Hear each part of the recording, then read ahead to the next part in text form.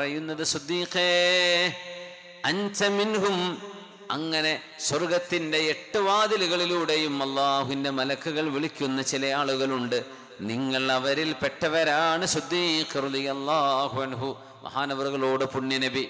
ഇത്രയും അദബിനോട് എൽമിനോട് അമലിനോട് അഭിനിവേശമുണ്ടായിരുന്ന സ്വർഗലോകത്തിന് വേണ്ടി അള്ളാഹുവിന്റെ ലിഖാഇന് വേണ്ടി ഒരുങ്ങി നിന്ന മഹാൻ അത്ഭുതമായിരുന്നു സിദ്ദീഖ് റളിയല്ലാഹു അൻഹു من أصبح منكم اليوم من أصبح منكم اليوم صائما നിങ്ങളിൽ നിന്ന് ആരാണ് നോമ്പുകാരനായത് ആരും കയ്യുയർത്തുന്നില്ല എന്നാൽ സുദ്ദീഖ് റളിയല്ലാഹു അൻഹു കയ്യുയർത്തി മൻ അസ്ബഹ മിൻകുമുൽ യൗമ ആദ മരീള നിങ്ങളിൽ ആരാണ് ഇന്ന് ഒരു രോഗിയെ പോയി സന്ദർശിച്ചത് ആരുമില്ല സുദ്ദീഖ് റളിയല്ലാഹു അൻഹു ഉണ്ട് അവർ കൈയുയർത്തി. നിങ്ങളിൽ ആരാണെന്ന് തബിഅ ജനാസത്തൻ ഒരു ജനാസയുടെ കൂടെ പോയത്? മാത്രമാണ് കൈയുയർത്തിയത്. അനയാ റസൂൽ അല്ലാ ഞാനാണ് നബിയേ.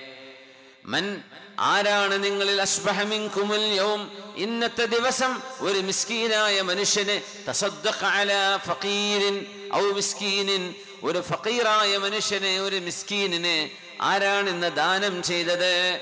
അനയാ ഞാനാണ് നബിയെ ഞാനാണ് ഞാനത് ചെയ്തിട്ടുണ്ട്. ജനാസയെ അനുഗമിച്ചു രോഗിയെ സന്ദർശിച്ചു. നോമ്പുകാരനാണ് നോമ്പുകാരനാണ്. പാവപ്പെട്ടവർക്ക് ദാനം ചെയ്തു കഴിഞ്ഞിട്ടുണ്ട്. ഈ നന്മകളെല്ലാം ഒരു മനുഷ്യനിൽ ഒരു ദിവസം ഒരുമിച്ച് കൂടുമ്പോൾ അവർ സ്വർഗവാസിയാണെന്നതിന്റെ അടയാളമാണ് എന്ന് മഹാനായ റസൂറുല്ലാഹി സ്വല്ലല്ലാഹു വസ്ലമ തങ്ങൾ പറഞ്ഞത് സുദ്ദീഖ് റളിയല്ലാഹു അൻഹുവിനെ ചൂണ്ടിക്കൊണ്ടാണ് മഹാനെ കണ്ടുകൊണ്ടാണ്.